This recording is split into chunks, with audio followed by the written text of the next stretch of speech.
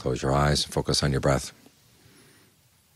Try to settle in and make this a really good, solid, and stable place to stay. Because it is a lot more stable once you get used to it than the world around you. We're used to staying on the world that spins around all the time.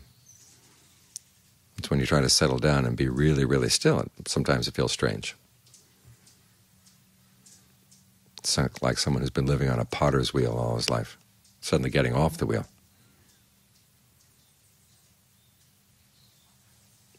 But that's the way our lives have been. We spin around with what they call the the dharmas of the world, which are gain and loss, status, loss of status, praise and criticism, pleasure and pain.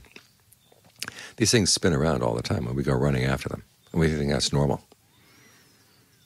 But if you try to base your happiness on things like that, it's like trying to base your stability on a potter's wheel. It may be balanced in some ways, but when it starts spinning around, and get you get really dizzy and people will try to shape you in any way they want. If they know that you want money, they'll, they'll pay you all kinds of things to do what they want. If you want status, they'll give you status to do what they want. They'll praise you, and they'll give you pleasures to do what they want. Now, we're running around like this all the time. We never get any sense of real stability in our lives. So when you stop and stay with the breath, okay, this is something that doesn't have anything to do with anybody else. This is totally your own affair. If it goes well, it doesn't go well, you know and you learn how ways of improving it, so it becomes a better and better place to settle down. And once you've got this stability, then you look back at life on the potter's wheel, and it doesn't look any, it doesn't look attractive at all. It doesn't look appealing at all, because you realize that when you have gain, you've got to have loss. When there's status, it's going to be loss of status. When there's praise, people who have the mouths to praise you can also use those same mouths to criticize you. And pleasures always end and turn into pain.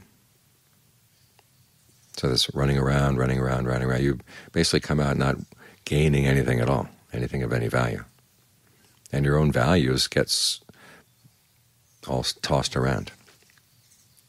So try to step back in a place like this where you can really be still and solid and stable. And so your values can be still and solid and stable as well. So you get a sense of what really is right and what's really wrong, what's skillful, what's not skillful, what's blameless, what's blameworthy.